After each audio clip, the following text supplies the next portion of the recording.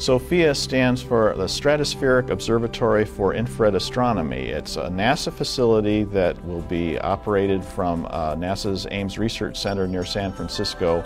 It's a 747 SP aircraft into which we've installed a 100 inch telescope, the same size as Hubble.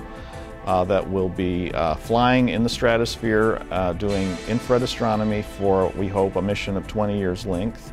And um, the benefits of SOFIA or why NASA is doing this, uh, it's, it's more versatile and above most of the atmosphere uh, compared to a ground-based observatory. Uh, uh and uh, ground-based observatories, even on mountaintops, have a little bit of obscuration and have to fight some atmospheric phenomena. And, uh, but uh, compared to a space telescope, it's much less expensive, much easier to get to. SOFIA comes home every night and we can swap out the instruments and put up a different set for the next day's uh, mission, do the repairs and so on. Whereas if you want to repair the Hubble Space Telescope, you have to mount an entire space shuttle expedition up to it.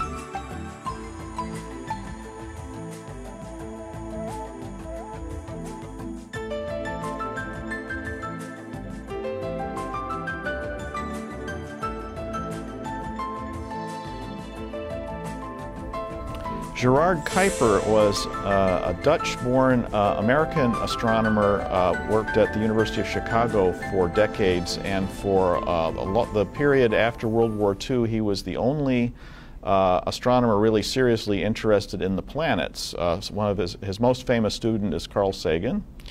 And Kuiper said we should have airborne observatories. He had the, the intuition that it would be better than a ground-based observatory, but uh, uh, far less challenging than a space-based observatory. And as a result of his uh, nudging, NASA arranged uh, a small observatory, a 10-inch telescope on board a Learjet that was based at NASA Ames in the uh, uh, late 60s and early 70s and uh, that was a success. Uh, there were uh, many discoveries made with that Learjet. One of the ones that people might recognize is the fact that Jupiter and uh, Saturn give off more heat than they take in from the sun. Those observations were made with the Learjet.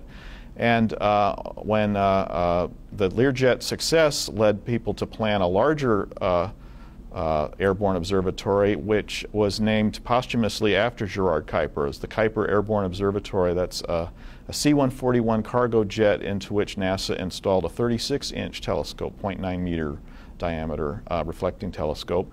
And that operated also from NASA Ames for the period uh, 1975 to 96 and uh, made many uh, important discoveries. One of them was the discovery of water vapor in the interstellar medium and the place where planets and stars form. Uh, so that's uh, probably part of the story about how water got uh, incorporated in the Earth when it formed. Also discovered that there are rings around the planet Uranus uh, and uh, a host of other uh, discoveries that are important to the astronomical community. Well, halfway through the 20-year lifetime of the Kuiper, it was already clear that we uh, might want to do better, have a bigger telescope and a bigger airplane, and so a workshop was convened to plan the successor to the Kuiper, and uh, that was eventually designated SOFIA, Stratospheric Observatory for Infrared Astronomy. So SOFIA was conceived 10 years uh, before the Kuiper was done with its, with its mission. And um, the biggest plane that uh, was easily commercially available at the time was a 747. Uh, and uh, so the plan was made to, to buy a 747 used from uh, an airline, and we finally bought ours from United Airlines. But uh, the same plane had previously been with Pan Am. And uh, the uh, German space agency, DLR, uh, are partners with uh, the United States and NASA in funding and operating SOFIA. They're 20% partners, and the German space agency arranged for the construction of the telescope through subcontractors in Europe. So uh, uh, starting when the when the Kuiper was retired in I think that was 96. Uh, the plan was uh, in, went into high gear to build SOFIA, and uh, uh, and we're not quite finished yet, but we're almost done. And and so SOFIA is a a grander. Um, more versatile, far more instruments available, uh, uh, a larger set of the astronomical community targeted to be uh, to be users of it than the Kuiper Airborne Observatory, which served uh, very faithfully and valiantly, if that's the right word for an aircraft, for 20 years, and is parked right in this hangar here uh, where, where our offices are. Well, SOFIA is uh, uh, planned to fly at an altitude of 41,000 to 45,000 feet. That's 12 to 14 kilometers in the lower reaches of the stratosphere. Uh, the reason for that is the, the, troposphere, the bottom layer of the Earth's atmosphere in which we live, contains almost all the water vapor. The currents that, that uh, circulating currents and so on do not penetrate into the, into the stratosphere, so the, the, um, the, the, stratosphere is dry, very dry, and uh, water vapor is the main uh, blockage for infrared radiation from outer space reaching the surface of the Earth. So by flying at those altitudes in the stratosphere, uh, SOFIA is above 99.5% of the water vapor in the Earth's atmosphere, although only above about 70% of the atmosphere itself. So the engines still work. And uh, we can uh, have almost the transparency of, of the air above SOFIA as if SOFIA were in space in terms of being able to receive uh, infrared radiation from space. So uh, why would be we want to receive infrared as opposed to any other kind of radiation from space? The electromagnetic spectrum, light, infrared radiation, radio waves, ultraviolet, and so on. Um, uh, we astronomers get a completely different picture uh, of the heavens depending on which of those wave bands we study. In particular, infrared uh, carries information from objects that are cooler than the sun. Uh, the sun makes mostly visible light, light that our eyes respond to. Infrared radiation uh, would be made primarily by objects cooler than the sun. For example, stars that are forming, planets that are forming, uh, the clouds in which stars and planets form, and so on. So that's uh, uh, the, the, one of the main interests of infrared astronomers is the process of star formation, trying to study it as it happens, uh, how, how the material is arranged that ends up being turned into planetary systems out there. Also in the infrared uh, spectral region are the spectroscopic characteristics of simple molecules, the uh, rotational transitions of simple molecules like water and ammonia and so on are, are, at far infrared wavelengths, and that radiation just doesn't reach the ground.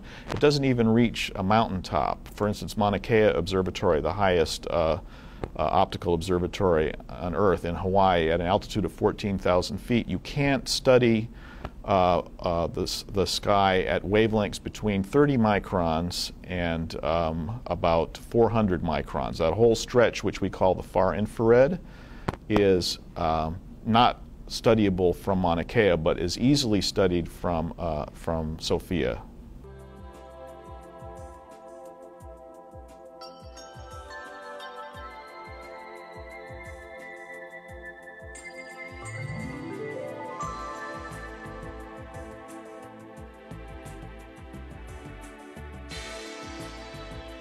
SOFIA will have a two and a half meter telescope, about a 100 inch diameter main mirror, which is the same size as Hubble, and that'll be carried in a chamber at the back of the plane, just in front of the tail, that's uh, separated from the, the uh, crew cabin by a pressure bulkhead. So the people on board will be working in a shirt sleeve environment, uh, like being on a commercial airliner but the telescope will be exposed to space. There's no window material we could choose that would let all of the radiation at all the wavelengths we want to study through, so we just open a door on the side of the aircraft and the telescope looks out uh, through this opening. Uh, the telescope is uh, basically a reflecting telescope of a familiar design to anybody who's had a hobbyist's telescope, uh, although it's got a very short focal length because we have to stuff it into the fuselage of the airplane. So it's a, a, primary mirror, a secondary mirror, and then a third mirror, the tertiary mirror, that bounces the light horizontally along a tube and into the cabin where we uh, mount an instrument, say a, a, spectrograph or a camera, uh, on the end of this uh, uh, uh, tube with a flange that is intruded into the cabin of the aircraft where the uh, scientists can, can get at it and work on the instrument if they need to during flight. So uh, we get the, gather the light with the telescope and then put it into the cabin uh, and where it reaches, is focused into a camera or a spectrograph.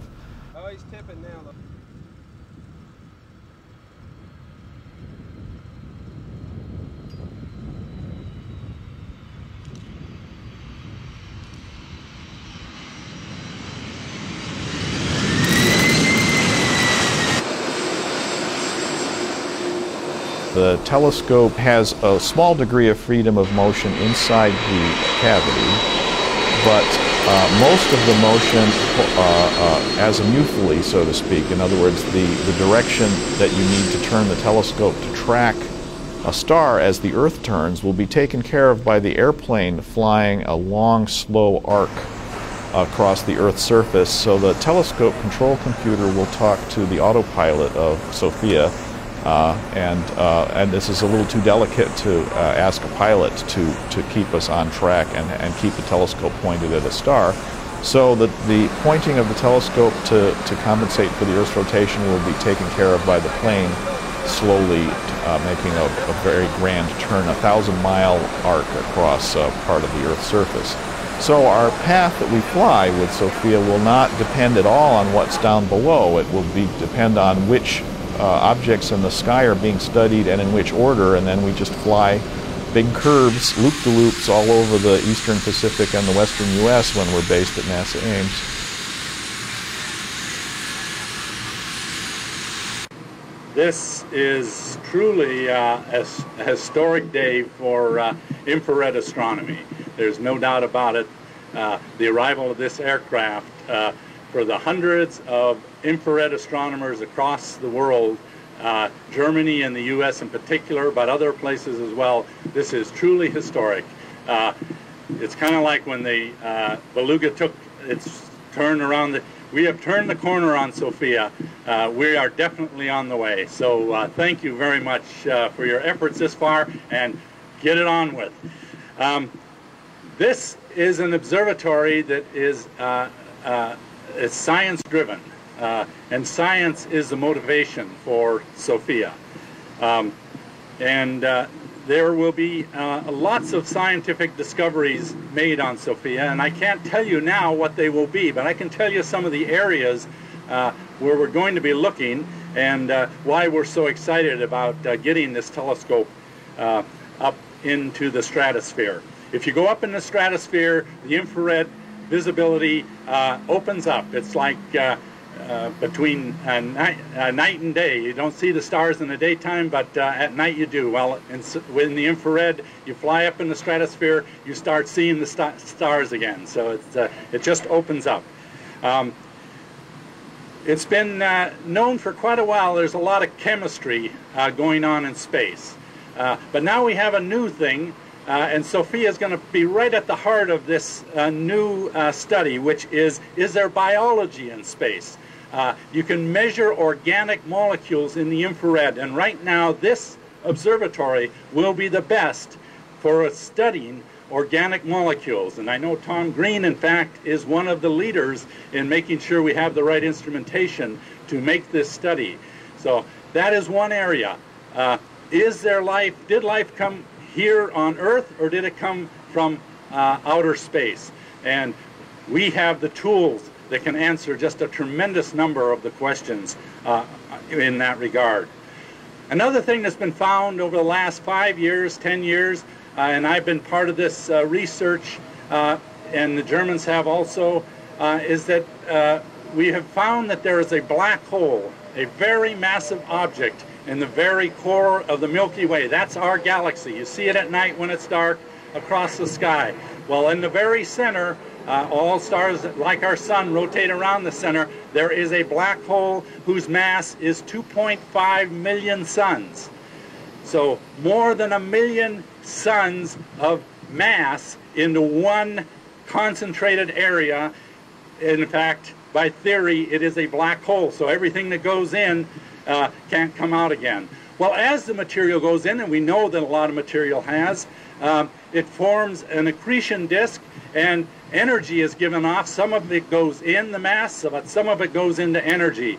Um, so we are going to be able to track both the mass that falls in and the energy is released. Of course, we don't know what goes into the black hole because it never comes out, but we will be able to study actually uh, how a black hole works, and we can do it in better detail than anybody else because of SOFIA. So uh, this is something I plan to do and is very exciting. Then the final thing that I am not involved in, but some of my colleagues are, and I know some of the uh, Germans are involved in this, uh, and other people around the world.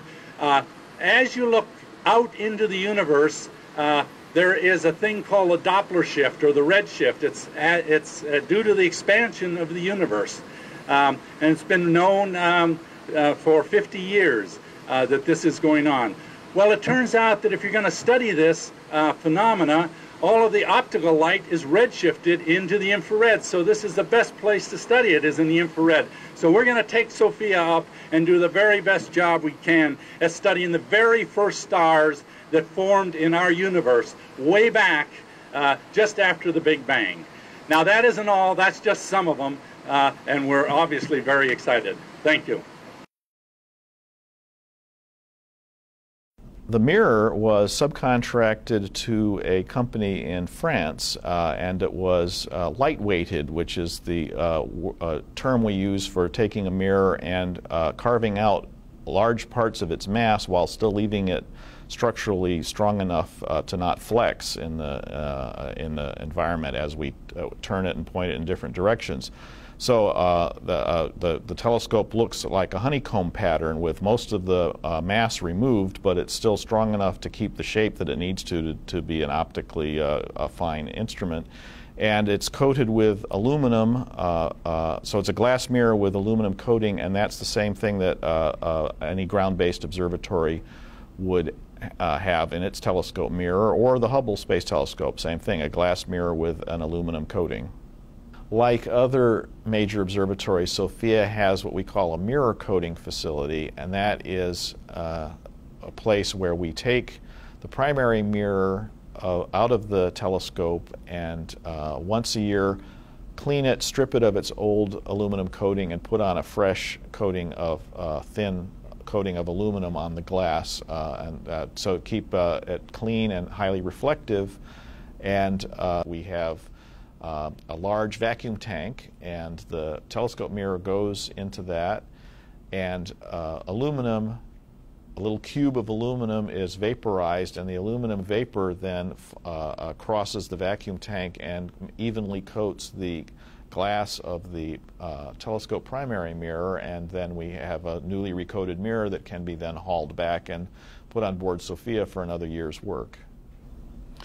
The process of, of getting to use SOFIA uh, is similar to for uh, other uh, ground-based observatories like uh, the Keck Observatory in Hawaii or uh, Kitt Peak Observatory in Arizona. Astronomers uh, on a yearly cycle or twice a year cycle will write a telescope observing proposal, which is a, a, two or three page document explaining what they want to do with your observatory and uh, uh, uh, what nights they want, how many nights they would like to, to have, and in what season.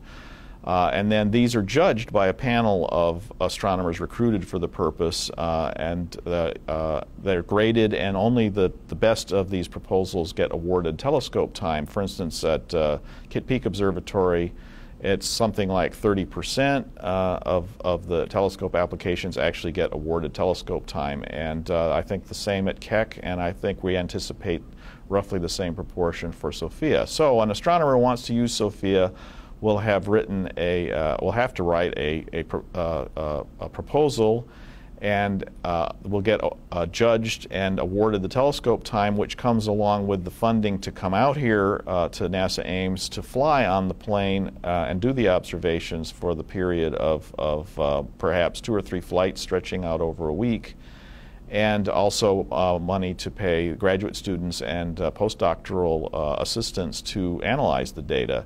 So, like a ground-based observatory uh, uh, at Mauna Kea or, or Kitt Peak or Cerro Tololo, the um, astronomers are in a control room. In this case, it'll be on board the plane uh, watching their data come in, monitoring it with uh, computer analysis on the spot to see that they're getting more or less what they want to get in terms of, of sensitivity of the measurements they're trying to make, uh, um, whether they're detecting anything at all, that sort of thing. But this is not the analysis that you can turn into a scientific publication. You just want to make sure that everything's working and that you've got what you want in the can, so to speak. And then after the flight series, the astronomers would go home to whatever university or institution uh, that they work at and then spend months probably uh, uh, picking over the data, analyzing it this way and that way before writing it up for publication. And that's uh, the same process with SOFIA as with uh, any other observatory. So imagine a crew of astronomers from some university who have successfully proposed to use SOFIA, and they've been awarded uh, three nights flights uh, stretching out over a week. And so they come here, and they have already specified in their observing proposal what celestial objects they want to study, not only the objects of uh, of their main interest, but standard comparison objects that need to be observed so that you know what, what you're getting with your instrument. Okay, so they'll they'll be here, and we'll already know what objects they want to observe and in what order.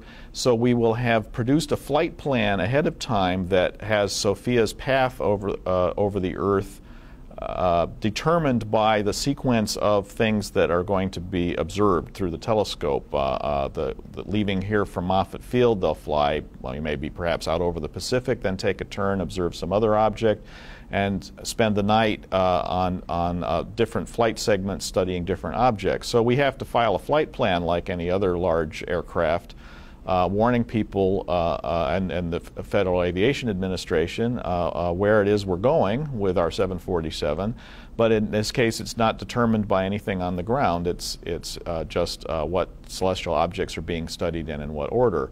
So the night, the night observations have to be preceded by um, a preparation period of, of having a software solve the problem of, what the perfect flight plan is to get all of these observations done in the right order, but also the instrument, a spectrograph or a camera, has to be uh, readied for the night, and we have the facilities here in the, the uh, hangar uh, in a lab to simulate the environment that the instrument will have on board the plane attached to the telescope uh, so that we don't waste time in flight uh, trying to tune up the camera or the or the other instrument, the spectrogra uh, spectrographs, um, uh, which was a problem with the Kuiper Airborne Observatory. They were playing a little fast and loose, I'm told, uh, and uh, often spent half of a night's flight uh, banging on their camera or whatever, trying to get it to work. We don't want that. Uh, this is time is too valuable on SOFIA, so it'll be